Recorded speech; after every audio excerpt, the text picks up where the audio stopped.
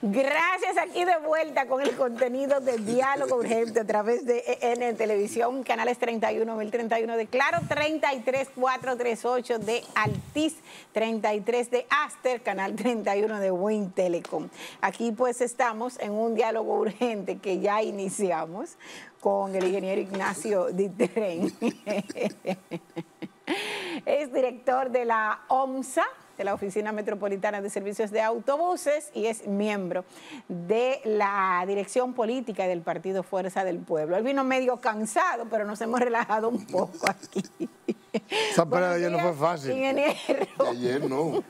Desde el viernes. Desde el viernes. Estamos rodando. ¿Cómo está usted? Gracias a Dios, muy bien, muy contento, mirando cómo resurgir eh, de una fuerza de un, y de un esfuerzo, o de muchos esfuerzos. Entonces eso hace que uno se sienta bien, aunque preocupado. ¿Por qué está preocupado? Ustedes se imaginan cuatro años más de este gobierno. No, pero yo no es que me lo imagino. Ustedes son los que están trabajando para ello. Bueno, ¿Usted, usted se lo imagina? No, no, pero precisamente por eso, por eso es que estoy trabajando mañana, tarde y noche, para que eso no pueda ocurrir. Porque si no, eso sería... Ah, Pero pues entonces, si usted está preocupado es porque, No, no. es porque hay, usted- hay posibilidad entonces de que se quede. No, no, yo estoy diciendo, tú te imaginas, porque, o sea, precisamente por eso, en ese tú te imaginas, es que me hace o nos hace eh, entregarnos en cuerpo y alma para que eso no pueda ocurrir. Ellos dan por hecho, los gobiernistas, los oficialistas, PRMistas, dan por hecho esos cuatro años más que usted no quisiera imaginarse. Si fuera así, no estuvieran tan preocupados con Leonel como están. Ellos están preocupados. Muy preocupados. ¿Y Pero cómo el- se manifiesta esa preocupación? Oh, pero ellos lo dicen en cada rato. Y E no, incluso- ellos lo dicen. inclu- Claro, esta misma semana el presidente dijo... Pero el presidente dijo que ustedes son los que están preocupados. No, primero el dijo Y desesperados. Que dejen, que dejen a la población y los- a- y al PRM tranquilo. Que lo dejen tranquilo y desesperado. Incluso tuve muchos funcionarios eh, de alguna manera liquidándose, preparándose, preparando su maleta. ¿Cómo liquidándose? O con los bonos, con todo lo que le llega a la mano. Liquidándose. Sí. Y, y ustedes Y eso pone para, para liquidar son, son chelitos. No, ajá. Pero tú no ves No, un bonito de 1.500 pesos. si, si es uno. al que le entregan, al que le entregan mil, ¿sabes cuántos son? Un millón quinientos. Y un funcionario recibió, por ejemplo, Sí, mil mucho. bonos. Bueno, de- se han denunciado por las redes, Mil. por donde quiera. Pero ven acá, a cualquiera le daban 100 bonos. Mm. Y, y no llegó. E incluso, e incluso ustedes vieron la denuncia de nuestro partido eh, que hizo Un bono por un voto. Exactamente, Rafael Albuquerque. O sea, no hay una, no se corresponde la cantidad de bonos emitidos con lo que se han liquidado, o sea, con lo que han entregado. Si se hace, incluso se le pidió al Banco de Reserva que tiene que dar un informe de cuándo se han liquidado esos bonos. Entonces, mira, eh, a mí un, un chofer de un amigo me dijo, ingeniero, hace como dos semanas, ¿Y no será que ellos lo estarán guardando para el día de la elección? Efectivamente, ahí vino nuestra investigación. Y los están guardando para el día de las pero el elecciones. No se corresponde que se hayan emitido eh, mil... Pero no tienen fecha de caducidad. O sí, después de las elecciones, precisamente para eso. ¿Qué fecha tienen, por ejemplo? Para junio, Yo no he teni- seis ¿Para? meses, seis meses, Ah. para junio. Para junio, ¿qué fecha? Recuerde que puede haber una segunda vuelta. Bueno, ellos están pensando que se van en primera. Están pensando, pero ellos saben que eso está difícil. Incluso, incluso, he pronosticado en otras ocasiones que cuando estén los resultados de febrero, probablemente ya sorpresa para mayo. Cuando veamos los resultados, eso tendremos que vernos, volver por aquí después del 18 de febrero, para ver la sumatoria de los votos sacados por cada partido y sumar los de la oposición. Pero de acuerdo a van a sacar el 70%, es lo que ellos dicen. Dicen ellos, vamos a Al menos el Tú sabes, 70%. que eso, tú sabes que eso es peligroso, porque como se le pelea el billete, entonces ahí, ahí cuando tú te un caramba muy alto, la caída dura, duele más. Cuando vean que saquen menos del 50%, entonces la caída será peor. Y eso va a determinar mayo. Ellos siguen, así como, como Fuerza del Pueblo eh, juramenta miembros eh, inclusive del PRM o del PRM, porque ustedes en esas actividades iniciaron el viernes en Gonzalo, Monteplata, juramentando gente que era dirigente del PRM. Bueno, eso te dice a ti, eso te dice a ti. Ellos también juramentan de Fuerza del Pueblo. No, de Fuerza del Pueblo, no. bueno, ellos se han llevado unos alcaldes. se han llevado. Sí, se han llevado, de alguna manera. Lo narigonean a los alcaldes. ¿Y cómo? ¿Cómo? Todo el mundo yo sabe. conozco el arigón. Sabes- yo soy de campo, yo. Yo soy de campo. Sí, pero tú sabes qué metodología se usa para eso. Eh, pero hay, hay muchos que lo han cuidado. hay muchos que lo han cuidado. Y Oh, entonces I cuando tú ves personas, porque Y quieren volver. que se vayan personas, oye, que se- no, porque ya están comprometidos, que se vayan personas de un partido de la oposición no tiene sentido, porque la gente se desespera estar, estar sin trabajo y sin recursos. Pero que se vayan del gobierno, eso es mucho más significativo. Eso quiere decir que ellos pueden tener muchas sorpresas. Todo el mundo sabe el tipo de funcionarios que tiene este gobierno, que son, bueno, Pero parece que son buenos porque, pero parece que son muy buenos porque el presidente mantiene la mayoría en los puntos claves y porque él tiene un criterio de él es Popi también. Ah, el presidente es Pope. Claro que sí. Mm. O, pero ¿y ¿Cuándo ha pasado trabajo Abinader? Abinader nació rico. Abinader nació rico. Y tiene un criterio, desde mi punto de vista, equivocado, porque él entiende, y creo que lo dije aquí en un programa, una de las últimas que vine aquí, que es lo mismo la administración pública que la administración privada. Y por eso tú ves funcionarios que son empresarios. y que le sobra el dinero, habiendo tantos problemas. Y al presidente le sobran también. Por eso su- mismo, entonces, ah, entonces todo el problema está resuelto Eh, aquí. Porque entonces él, aquí no hay hambre. Él dice que él no sabe cómo, pero que le sobra el dinero. Ah, bueno. A nosotros nos sobra el dinero, no sé cómo, pero nos sobra el dinero. Y nos sobran los problemas también. Entonces quiere decir que no saben invertir. ¿Y dónde no hace esquina lo de que sobra y los tantos préstamos que se toman? Precisamente, precisamente. Sobra y además cogen préstamos. Préstamos para pagar cuestiones y para regalar dinero también. Entonces, eh, eso quiere decir que hay una pésima administración. Mire, esa- el crecimiento económico ha ido, eh, ha ido descendiendo. ralentizándose. Pero algo, la- las principales provincias, que ahí es que se determina el asunto. Por ejemplo, el Gran Santo Domingo, de acuerdo a ello, en, en la capital, en el distrito no hay posibilidad, no hay posibilidad de, de- de la Para alianza. rescate. De Santo Domingo, Al revés. Ahí es que están preocupados. Santo Domingo Oeste. Ahí es que están preocupados ellos en el distrito y el Gran Santo Domingo. Y, y la- En Santo Domingo Oeste, supuestamente no hay. ¿quién, le, ¿Quién le gana a Son, por ejemplo? Bueno, Francisco ¿Quién le Peña. gana? ¿O Francisco Peña? No, No. Chequen las encuestas que se han hecho ahí. Incluso ahí estaba la Greenberg, que no la han dejado salir. Francisco Peña no le gana No le gana a Son. a Aquilino Serrato. No le gana a Quilino Serrato. Mm. Te lo digo yo hoy, anótenlo. No, yo lo digo porque No, pero digo un, no hombre popular fue No, pero ya- alcalde tres Sí veces. pero, sí, pero lo que hizo fue arrabalizar ese, ese, ese municipio, que por cierto es mi municipio.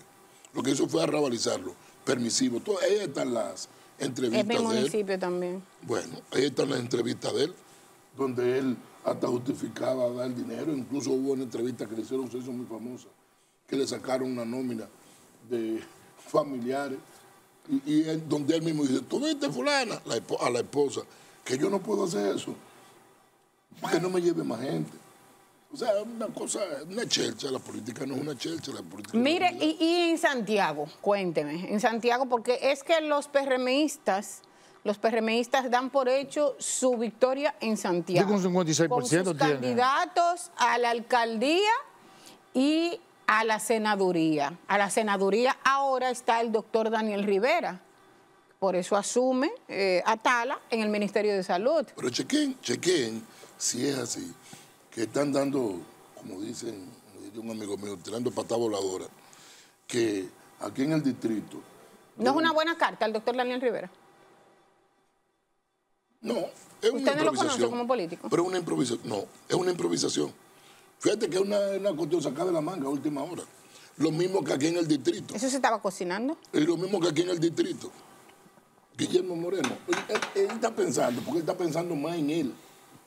El, eh, el presidente Abinader está pensando más en él. Y fíjate cómo ha maltratado a Faride.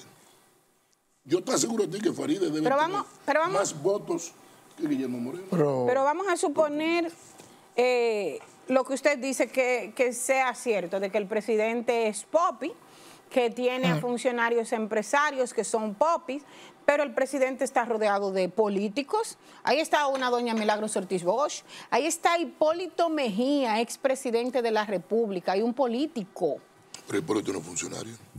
pero tiene gran parte de... de- no, de- dirigente ahí. Bueno, lo que ha hecho Es una cabeza importante no, de pero poder. lo que ha hecho es promover mucho las importaciones. Lo que es promover mucho las importaciones. Y ha de- han de- eh, quebrado prácticamente el aparato productivo. Tú voy a poner un ejemplo. Mi caso, caso mío, que lo estoy viendo yo en carne propia. Productor de cerdo. Yo vendía alrededor de 800, 900 cerdos mensuales. ¿Cuánto vendo ahora? Ninguno. Porque tuve que cerrar. ¿Por qué? Los altos pre- Ahora precios. usted tiene que comprar cerdo. Sí, los altos precios de la materia prima, maíz, soya y las grandes importaciones. Las importaciones hacen porque el, precio del cerdo del público está carísimo, pero el productor tiene que vender por debajo y asumir esos altos precios de las importaciones. Lo que quiere decir que tuve que dejar eso. Ok, ¿cuál es mi, cuál, es mi profesión? Ingeniero. Digo, bueno, está bien, dejé los cerdos. Déjame yo ahora volver a mi construcción, a, comprar terreno para construir edificios. Cuando metí el número no puedo. ¿Por qué? Porque lo- los precios de los materiales de construcción son casi duplicados. Un apartamento que costaba 5 millones de pesos, te salen 9 o 10 millones de pesos ahora. Entonces, tú como constructor, ¿qué problema tienes? Cuando tú comienzas a construir, lo que tú haces para financiarte es que tú comienzas a vender en plano. Pero si tú le vendes a alguien, tú comenzando a construir un apartamento y tú lo calculaste que te iba a salir en 6 millones de pesos, o que tú lo puedes vender a 6 millones de pesos, y resulta que tienes que, eh, en el proceso de construcción, te sube el cemento, te sube el bloque, te sube la varilla, termina en un conflicto con el cliente. en otras palabras, ha pasado algo no tan pronunciado como en el 2003, pero está el problema de la inflación No controlada, El dólar. que mantiene el crecimiento de, los- de los precios y no permite que haya planificación. Incluso el presidente a veces deliberadamente dice cosas que no son ciertas. Por ejemplo, en la, la semana pasada, en la famosa semanal que él tiene, él dice que no se preocupen por la subida del dólar, que eso es normal en todos los gobiernos. Lo cual es cierto, que se va deslizando. Sí, pero con una Pero decir- controlada. Que cuando, que cuando él llegó, el dólar estaba a 60 y él lo bajó al 57, eso es una gran mentira, porque eso no fue verdad. Eso no fue verdad que estaba a 60. Desde el 2004, 2003-2004, no había llegado el dólar a como está ahora. Es decir, que no. Una cosa que él, que él explique una cosa, no, mire, eso se va deslizando poco a poco, eso es normal, pero no que yo lo encontré a 60 y lo bajé a 57. Mire, la realidad hoy día de la Alianza Rescate RD. ¿Cuál es la realidad? Usted acaba de regresar cansado, por eso lo dije al aire, Sí. de un recorrido con el presidente de Fuerza del Pueblo desde el viernes. Inició en Gonzalo, en Monteplata y concluyó en Puerto Plata. Eh, ¿Cuál es la realidad? ¿Qué pudieron ustedes ver? Yo sé que no me van a decir, eh, vimos que hay más o menos en tal sitio como que no hay mucha receptividad. No me van a decir eso, yo Mira, sé que no. Déjame hablar un poco de, de ese recorrido. Eso comenzó el viernes en Gonzalo. Ahí este, el presidente juramentó en la Fuerza del Pueblo a Agustín Olivo, quien es eh, miembro de- del distrito municipal eh, como regidor vocal eh, de Gonzalo y el secretario general también del PRM. ¿Era? Era. De ahí pasamos a Sabana- Sabana Grande de Boyá. En Sabana Grande de Boyá, ahí el presidente presentó a nuestro candidato a alcalde, eh, Ramón Fabián. De ahí pasamos a Sánchez. Y ahí se aplicó la alianza Rescate RD. Porque resulta que en Sánchez el candidato es Dani Guzmán, que es del PLD, ¿verdad? Y eh, el presidente lo presentó como un candidato de la, De la alianza. alianza. En Samaná eh, también se- bueno, antes de después de Sánchez, pasamos por Arroyo Barril. De Arroyo Barril pasamos a Samaná. En Samaná, le levantaba, el presidente eh, presentó a Juan José Morales, que es del PRD. O sea que durante todo el trayecto se hizo una vinculación con eh, los candidatos de otros partidos.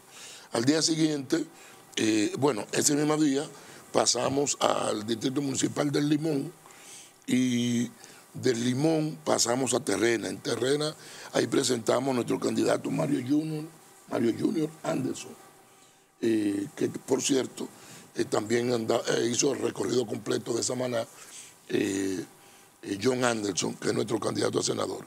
Entonces tuvimos entonces parte de Monteplata, tuvimos en Samaná. De Samaná pasamos el sábado a Nagua. Ahí presentamos a nuestro candidato Joel Veras. De, de Nagua pasamos a Cabrera. En Cabrera presentamos a un jovencito que es actualmente regidor nuestro eh, y que va a ser el próximo alcalde, eh, Gaby eh, Fernández. Gabino Fernández, le decimos Gaby. De Cabrera pasamos a Río San Juan. En Río San Juan, ahí presentamos a un... Ahí hay una característica muy especial, porque nuestro candidato, eh, Casimiro Silverio, es profesor y casi toda su boleta está eh, compuesta por maestros. Eh, de Río San Juan eh, pasamos a Gaspar Hernández, ahí pasamos a la provincia, ahí pasamos de la provincia de María Trinidad Sánchez, que fue la tercera, a la provincia de Payá. Gaspar Hernández, ustedes saben que pertenece a la provincia de Payá. Ahí en Gaspar Hernández eh, presentamos a un médico, el doctor Rafael Uceta. De ahí pasamos a Veragua. En Veragua ahí presentamos a Cristian Santos. Y de Veragua pasamos a Sabaneta de Yásica. Ahí tenemos un candidato que es del PLD también. Una actividad con una efervescencia tremenda. De, eh, y terminamos esa noche, el sábado, en Cabarete. Entonces, eh, de Cabarete, en Cabarete pernoctó una parte de la delegación, nosotros nos fuimos a Puerto Plata a dormir. Y al día siguiente retomamos y arrancamos en Villa Montellano.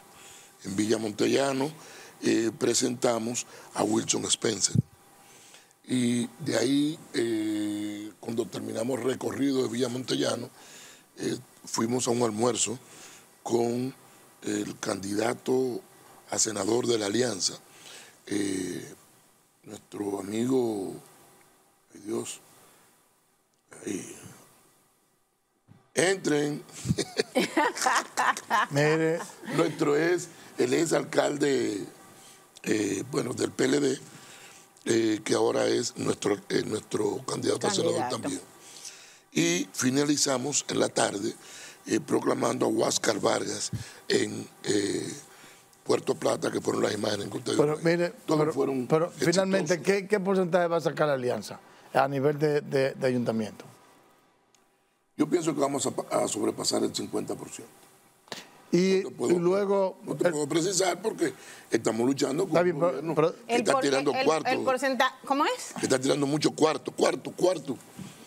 Para, pero- para y entonces- los candidatos. pero- ¿Y ustedes tienen esa constancia de que es con dinero que se está trabajando para los candidatos? Bueno, pero nada más hay que ver que solamente para publicidad tienen 8 mil millones. mire, pero, y la parte, y a nivel presidencial, porque todas las encuestas dicen que, que Abinader anda por el 60%. dicen ellos. Bueno, ya hay una, una coincidencia entre lo que dice Leonel y lo que dice Danilo. Que ambos dicen que todas las encuestas son pagadas. Y vamos, vamos a parafrasear a Hipólito Mejía cuando se enfrentaba a Luis, que decía que eh, el que paga las encuestas lo ponen a ganar. No, está bien, pero, Eso dice Hipólito. pero Luis ganó. ¿Eh? Con Hipólito Luis ganó. Bueno, ganó, pero acuérdate que ahí se dio una alianza con nosotros. Que nosotros dijimos que eh, había que sacar. Mire, el escenario podrá cambiar mañana, ya, me dice Calimán que nos vamos. El escenario podrá cambiar mañana, pero el grupo ACE de Media presentó una encuesta reciente. El grupo ACE de Media es de este grupo de comunicaciones. Yo lo sé. Y ese, esa encuesta eh, de opinión pública a nivel nacional, con una muestra de 1.200, se aplicó del 12 al 15 de enero. Abinader gana en todo, en primera, en segunda vuelta. bien. Y otra cosa es que la gente está decidida a votar y a que se resuelva todo en una primera vuelta. Precisamente, eso se va a resolver en primera vuelta con la alianza. Pero Leonel dijo hace poco. Calimán, ya nos vamos. Leonel dijo hace poco. Pero siempre que que entonces dijo- va, va a haber una negociación entonces. Leonel dijo ¿Cómo es hace posible? poco que si Abinader ¿Cómo es no posible? gana en primera vuelta, en segunda sufre una derrota. claro. Pero yo pienso como que el presidente de Fuerza del Pueblo, candidato presidencial, como que, mira, como que a él no le luce decir eso. El grupo, el grupo de ustedes hace de, Hace de media. tendrá que ir en la medida que se van acercando las elecciones, No, no, corrigiendo se esos va- números. se- se están corrigiendo haciendo- esos números. No, no. Se- porque si no, No, el medio se no, porque no se mantiene intacto. Se Ah. hace la muestra, se Ah, toman la muestra Entonces, y se presenta. Por ejemplo, se, estamos- está presentando desde febrero del año pasado. Entonces, hoy estamos, tú, tú a ver cómo va a ir eso reduciendo. Hoy estamos a 20 Bueno, de que le enero. diga el momento, porque- Estamos a 20 de enero, estamos a menos de un mes de las elecciones municipales. El escenario puede cambiar. Veamos los te digo. resultados Esos números pueden de- cambiar. entonces- pero no es verdad que todas las, empre- las decía, son compradas. como diría, como diría un procurador, no no desesperéis. desesperéis. Por Gracias. cierto, 22 de enero, hoy por cierto de cumpleaños de mi segundo hijo Ramón. Ignacio. Felicidades, a Felicidades Ramón. Ignacio. Gracias al ingeniero Ignacio Ditren que ha estado aquí con nosotros en el día de hoy. A ustedes también las gracias. El compromiso de siempre mañana a través de Diálogo Urgente en Televisión de 6 a 8 de la mañana. Feliz resto del día.